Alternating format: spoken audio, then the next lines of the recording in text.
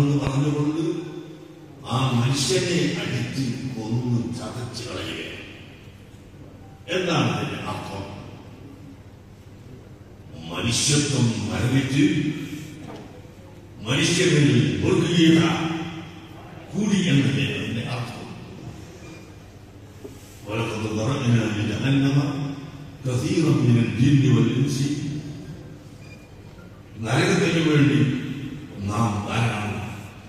മനുഷ്യരെയും ജിന്നുകളെയും പടച്ചിരിക്കുന്നു എന്നാണ് പറയുന്നത് ലഹും ലായപ്പാകും അവർക്ക് ഹൃദയങ്ങളുണ്ട് പക്ഷേ അതുകൊണ്ട് അവർ ചിന്തിക്കുന്നില്ല.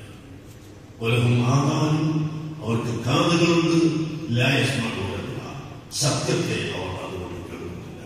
ഉലഹും അഴികളും അവർക്ക് കണ്ണുകളുണ്ട് ലായുദ്ധവുമില്ല ആ കണ്ണുകൊണ്ട് സത്യത്തെ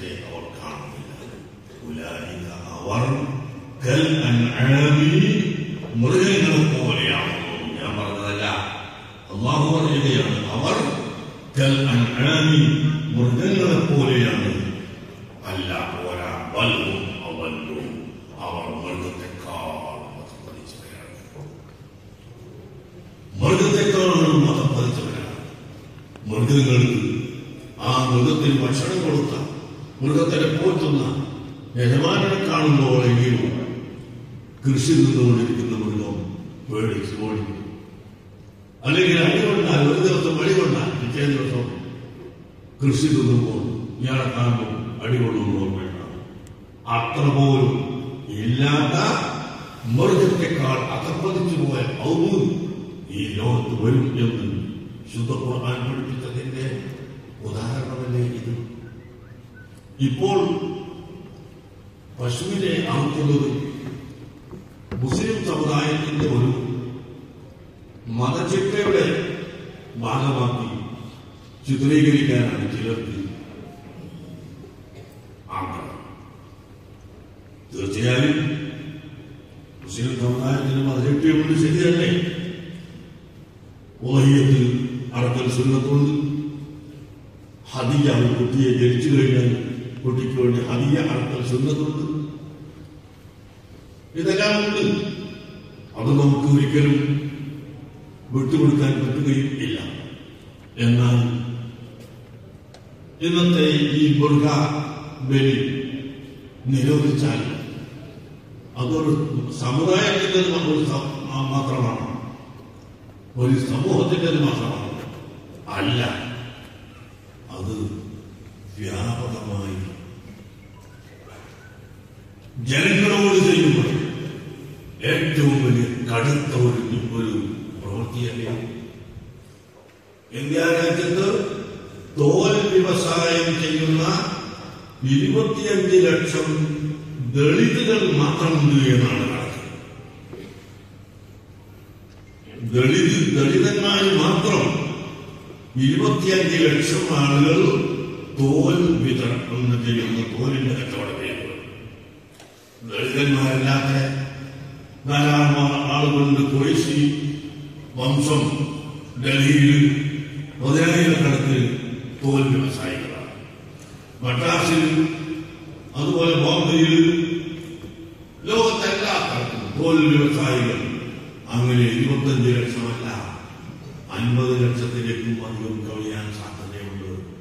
അങ്ങനെയുള്ള ജനങ്ങൾ അതിന്റെ മാംസം തിന്നിട്ട് ജീവിക്കുന്ന കച്ചവടത്തിൽ ജീവിക്കുന്ന വേറെ ഒരു ഭാഗം ജനങ്ങൾ തോൽ വ്യവസായികൾക്ക് പുറമെ മാംസത്തിന്റെ വ്യവസായികൾ അങ്ങനെ വ്യവസായത്തെ മുഴുവനും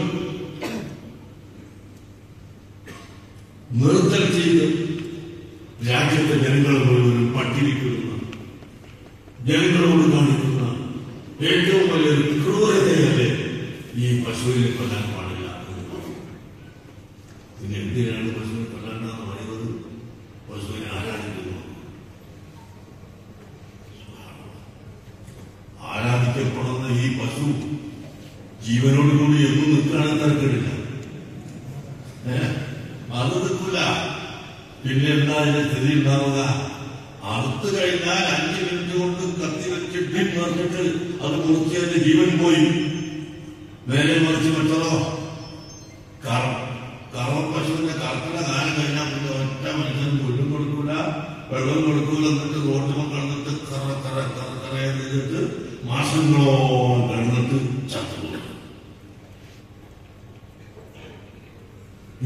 ഇതാണ് നല്ലത് അല്ലെങ്കിൽ അർത്ഥമോ നല്ലത് ഇനി ഒരാൾ ഏതെങ്കിലും ഒരു വിഭാഗം ആരാധിക്കുന്നു എന്ന് പറഞ്ഞതുകൊണ്ട് അവനെ നശിപ്പിക്കാൻ പാടില്ല എങ്കിൽ ആദ്യമായി എല്ലാ സ്ഥലത്തും ഫയർ സർവീസ് ഫയർഫോഴ്സിന്റെ ഓഫീസുകൾ അടച്ചു ഫയർഫോഴ്സിൽ എവിടെ എന്തിനാ? ഏ? ആ തീയെടുക്കാൻ എന്നാൽ അവർ ബിൽഡിംഗ് എടുക്കണമെങ്കിൽ തന്നെ ഫയർ സർട്ടിഫിക്കറ്റ് വേണം? ഉയർന്ന മട്ടി ബിൽഡിംഗ് എടുക്കണമെങ്കിൽ ഫയറിന്റെ സർട്ടിഫിക്കറ്റ് വേണം? എന്തിനാ തീ പിടിച്ചാൽ എടുത്താണ് അപ്പോ അങ്ങനെ എടുത്തും തീയിനെ ആരാധിക്കുന്ന എത്ര ആളുകളുണ്ട് ലോകത്ത്? ഏ? തീയിനെ ആരാധിക്കുന്ന എത്ര ലക്ഷത്തിൽ ആളുകളുണ്ട് ലോകത്ത്? അപ്പോ അവരുടെ ദൈവത്തെയാണോ നശിപ്പിക്കുന്നത് പാടില്ല എന്ന് പറയേണ്ടവരില്ലേ? പാമ്പയെ ആരാധിക്കുന്നവരില്ലേ? അപ്പോൾ പാമ്പിനെ കൊല്ലം പാടുന്നെന്ന് പറയേണ്ടവരില്ലേ? ഇതെല്ലാം വെറും ബുദ്ധിശൂന്യതയാണ് ഈ പറയുന്നത്. അതുകൊണ്ട് തന്നെ ഒരിക്കലും ഇത് അംഗീകരിക്കാൻ സാധ്യമല്ല. ലോകത്തിൽ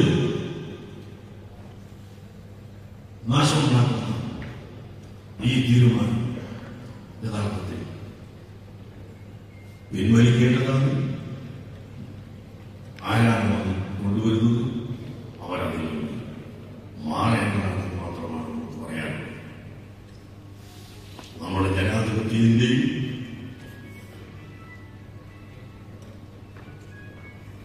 മുസ്ലിം സമുദായത്തിന്റെ സംസ്കാരം മാത്രമല്ല എല്ലാ മനുഷ്യരുടെയും തൊഴിലും സംസ്കാരവും മുഴുവനും ഇല്ലാതെയാക്കുന്ന. ഈ പ്രവണതയിൽ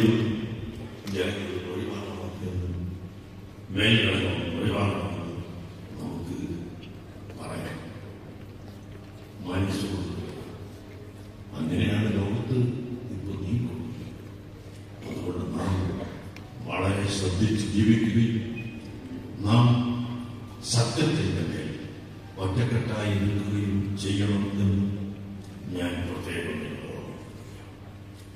സംഘടനയുടെ എല്ലാവരും അണിനിരക്കണം ഐ സി എഫിന്റെ പ്രവർത്തനമാണ് ഈ കാണുന്ന പ്രവർത്തനം. ആർ എസ് ഐ സി എഫിന്റെയും സഹകരണത്തോടുകൂടിയുള്ള പ്രവർത്തനം ഇവിടെ നടന്നുകൊണ്ടിരിക്കുകയാണ്. ഈ പ്രവർത്തനത്തിൽ നിങ്ങളെല്ലാവരും ഒറ്റക്കെട്ടായി പ്രവർത്തിക്കണം എന്ന് ഞാൻ അതിന്റെ പ്രവർത്തനം തന്നെയാണ് കേരളത്തിലുടനീളം